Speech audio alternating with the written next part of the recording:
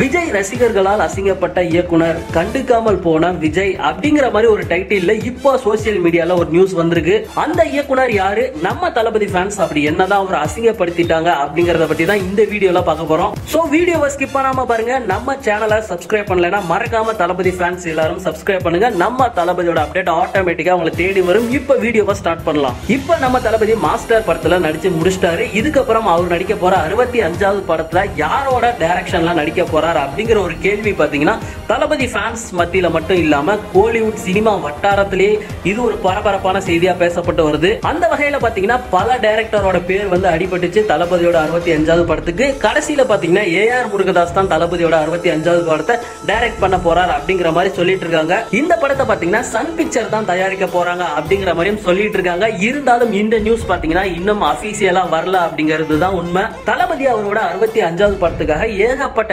டேரக்டர்கிட்ட கதை கேட்டார் அப்படிங்கிறது எல்லாத்துக்குமே தெரியும். அந்த லிஸ்ட்ல பாத்தீங்கன்னா கிட்டத்தட்ட ஏழு எட்டு டைரக்டரோட பேர் வந்து அடிபட்டது. அந்த லிஸ்ட்ல இருந்த ஒரு டேரக்டரை வந்து நம்ம தளபதி ஃபேன்ஸ் அசிங்கப்படுத்திட்டாங்க அப்படிங்கிற மாதிரி ஒரு நியூஸ் சொல்லிட்டு இருக்காங்க அந்த ஒரு டைரக்டர் யாரு அப்படின்னு பாத்தீங்கன்னா பாண்டியராஜ். இவர்கிட்ட நம்ம தளபதி கதை கேட்டு ஓகே பண்ணிட்டார் அப்படிங்கிற மாதிரி ஒரு நியூஸ் பாத்தீங்கன்னா சமீபத்துல வந்துட்டு இருந்தது. சோ தளபதியோட அறுபத்தி அஞ்சாவது படத்தை பாண்டியராஜ் தான் டைரக்ட் பண்றதுக்கான அதிக வாய்ப்பு இருக்கு அப்படிங்கிற மாதிரி சினிமா வட்டாரங்கள்ல பேசப்பட்டு வந்தது. கடைசியில ஏ ஆர் முருகதாஸுக்கு அந்த வாய்ப்பு போய் போயிடுச்சு அப்படிங்கிற மாதிரி தான் இப்போ வந்து நியூஸ் வந்துட்டு இருக்கு ஓகே தளபதியோட அறுபத்தி அஞ்சாவது படத்துக்கான வாய்ப்பு கையை விட்டு போனாலும் அறுபத்தி ஆறாவது படத்துக்கான வாய்ப்பை தளபதி இவர்கிட்ட தான் கொடுப்பாரு அப்படிங்கிற மாதிரி தான் ஒரு சூழல் இருந்தது. கடைசியில அதுக்கும் ஆப்பு வைக்கிற மாதிரி மகிழ் திருமேனிக்கு அந்த வாய்ப்பை வந்து தளபதி கொடுத்துட்டார் அப்படிங்கிற மாதிரி தான் இப்போ வந்து ஒரு நியூஸ் வந்துட்டு இருக்கு ஓகே தளபதி எதுக்காக பாண்டியராஜை வந்து ரிஜெக்ட் பண்ணிக்கிட்டே இருக்காரு அப்படின்னு பார்க்கும்போது தான் ஒரு உண்மை வந்து வெளியில வருது. பாண்டியராஜ் கடைசியா டைரக்ட் பண்ண ரெண்டு படங்கள் என்ன அப்படின்னு பாத்தீங்கன்னா கடைக்குட்டி சிங்கம் நம்ம வீட்டு பிள்ளை. இந்த ரெண்டு படங்களுக்குமே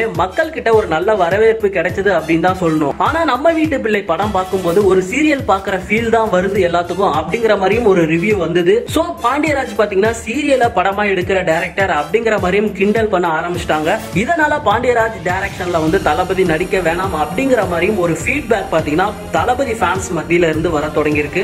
சோ இந்த காரணங்களால தான் பாண்டியராஜா தளபதி ரிஜெக்ட் பண்ணார் அப்படிங்கிற மாதிரியும் சொல்லப்படுது. இந்த ஒரு நியூஸ்னால ரொம்பவே வெக்ஸ் ஆன பாண்டியராஜ் பாத்தீங்கன்னா தளபதி சைட்ல இருந்து ஒரு போன் கால் பண்ணியாவது ஆறுதல் கிடைக்கும் அப்படின்னு எதிர்பார்த்தாரு. பட் தளபதி சைடுல இருந்து எந்த ஒரு ரியாக்ஷனுமே இல்ல. பாண்டியராஜுக்கு ஏமாற்றமே மிஞ்சியது அப்படிங்கிற மாதிரி போட்டிருக்காங்க. ஓகே நண்பா இந்த ஒரு நியூஸ பத்தி நீங்க என்ன நினைக்கிறீங்க அப்படிங்கறத மறக்காம கமெண்ட்ல ஷேர் பண்ணுங்க. இந்த மாதிரி தளபதியோட சூப்பரான அப்டேட்ஸ் எல்லாம் வேணும்னா மறக்காம நம்ம சேனலை சப்ஸ்கிரைப் பண்ணுங்க. நம்ம தளபதியோட அப்டேட் ஆட்டோமேட்டிக்கா உங்களை தேடி வரும். இப்ப வீடியோவை முடிச்சுக்கிறேன்.